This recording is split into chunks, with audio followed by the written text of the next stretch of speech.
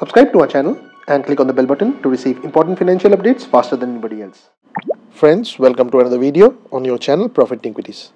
Now, if you like our content, please don't forget to hit the like button. Also, subscribe to our channel and click on the bell button to receive important financial updates at the earliest. In this video, we would talk about Satpal Khattar selling 1,58,837 shares of a microcap penny stock at rupees 6.76. Now, for those of you who do not know Satpal Khattar, he is a very successful stock investor based out of Singapore and is also the founder of a very successful law firm. Please watch this video to know more.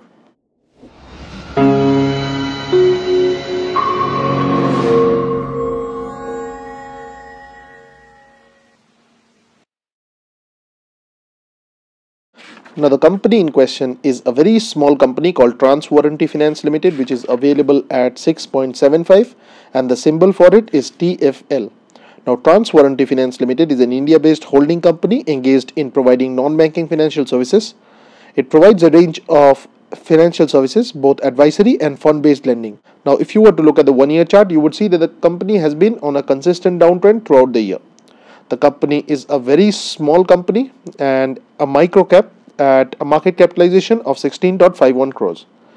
The company is not yet profitable and hence the EPS and the price to earnings ratio is not applicable and the book value is 23.65 translating into a very cheap price to book ratio of 0.29. The promoter holding here is above average at 53.62. Now friends please don't consider this to be a sell or a buy advice.